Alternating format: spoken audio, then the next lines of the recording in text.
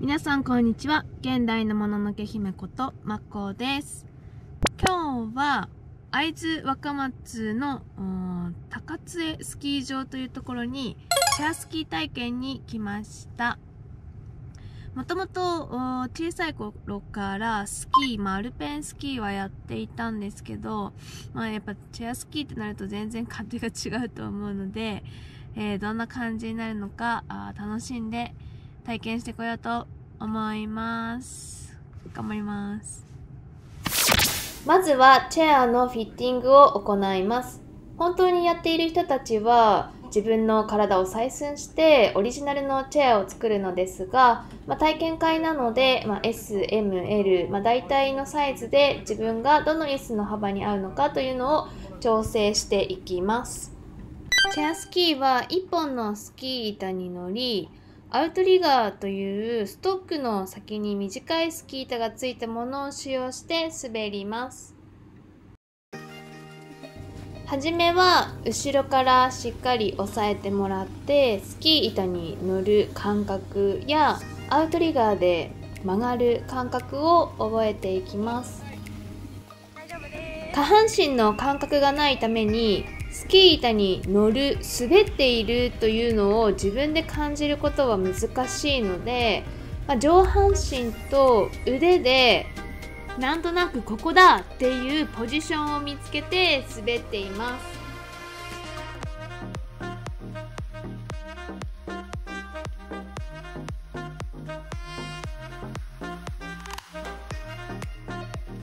尻が少しじりじりしてきた髪に雪上に寝っ転がって除圧中です。平坦な場所などを移動するときはこのようにアウトリガーを立てて押して進みます。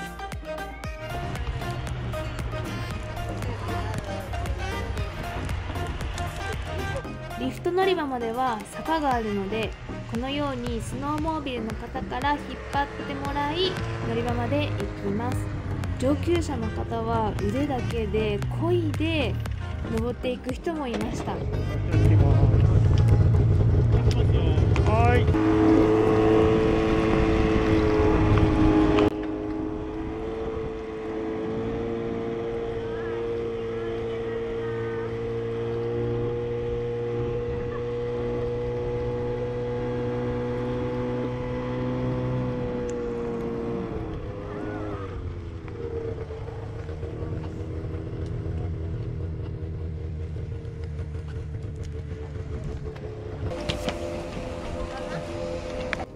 チェアスキーでリフトに乗るときはこんな風に座面を上に上げます。上げることができます。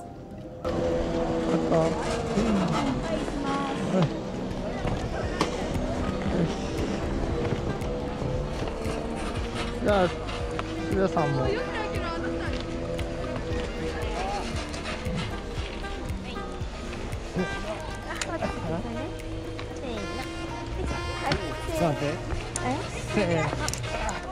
1人で上げれるようになるためには腕の力とあとはまコツというか慣れが必要だなと思いました。よい。しょ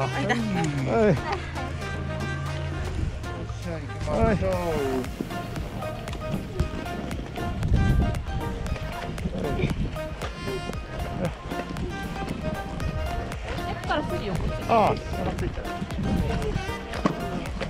お願いします。少々お待ちください。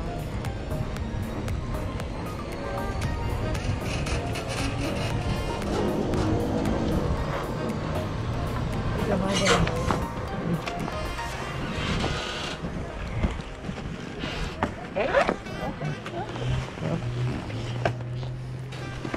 お、ちょっとちょ、寄り口じゃない。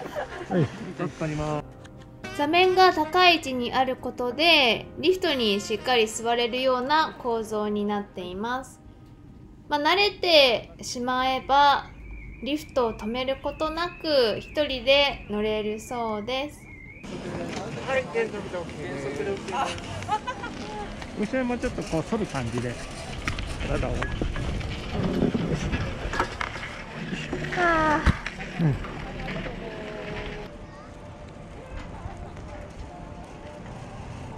降りるときはそのまま滑っていきます。あーそのまま右に。は少し慣れてきたのでサポートを緩めてもらいロープだけの支えで滑れるようになってきました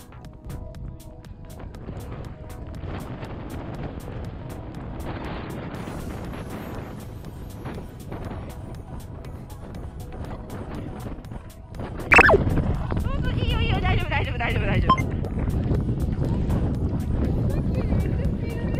あのね私ご今何もやってないから。後ろにいるだけ。いるだけいるだけ。でもあのスピードでターンできてるから。大丈夫大丈夫。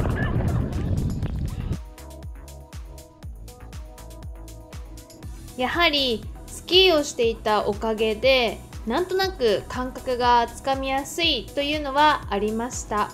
それにやっぱり体が覚えているっていうのもあって滑っている時は本当に楽しいなと思いました。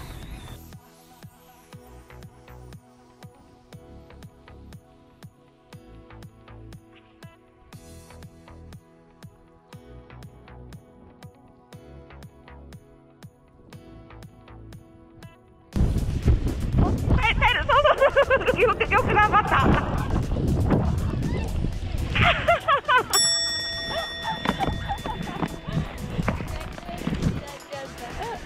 では回すよ。よいしょ。よいしょ。よいしょ。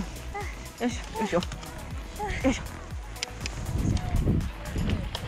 アウトリガー立てていくよ。せーの。よいしょ。ょっと一回離れるね。はい。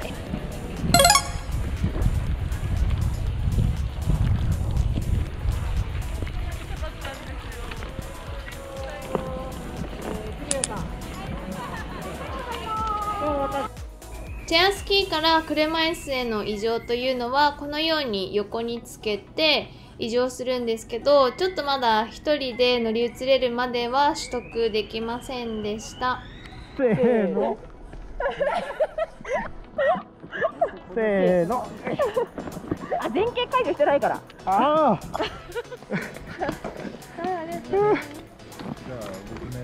生まれた。じ